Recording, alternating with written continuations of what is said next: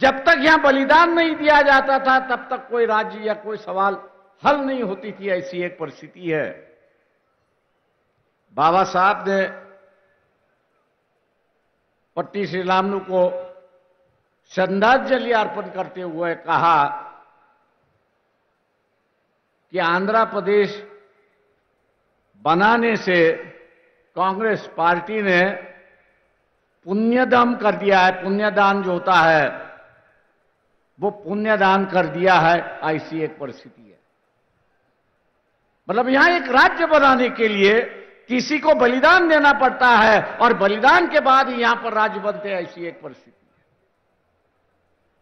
वही बात बाद में 40 साल बाद आई, तेलंगाना का सवाल आए आज तेलंगाना राज्य बन चुका है और एक नई दिशा, एक छोटे राज्य यहाँ पर दिखाई दे रहे, ऐसी एक परिस्थिति है। आपको वेलफेयर स्टेट की अगर संकल्पना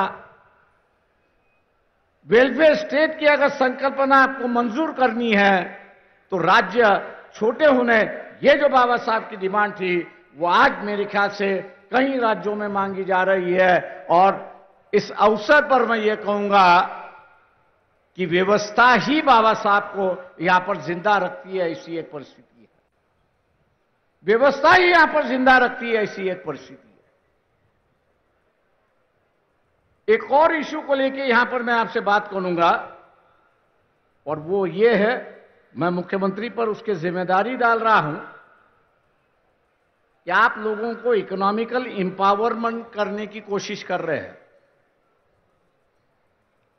दस लाख की आप जो है उनको ग्रांट दे रहे हो।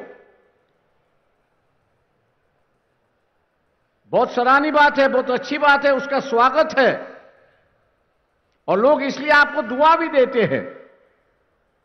लेकिन एक साल के बाद यह दस लाख रुपए की कीमत आज जो है, वो वैसी बरकरार रहनी चाहिए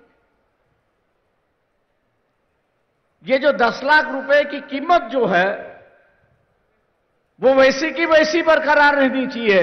ये सबसे बड़ा बाबा साहब का इशू था और उन्होंने ये कहा था कि जब तक हम लोग रुपए की कीमत वैल्यू ऑफ़ रुपी इसको हम लोग जब तक स्टेबलाइज नहीं कर पाएँगे, इसको जब तक हम लोग स्टेबलाइज नहीं कर पाएँगे, तब तक हम लोग कितना भी पॉवर्टी एलिवेशन का कार्यक्रम अगर करते रहे तो वैल्यू की कीमत जैसे नीचे बढ़ जाएगी, वैसे उसकी गरीबी भी नीचे चलती जाएगी।